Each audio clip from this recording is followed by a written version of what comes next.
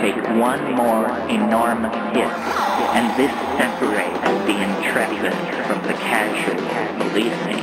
Because most people, and, and the facilitator doesn't want to lean on the person. Say, you know, damn it, take the third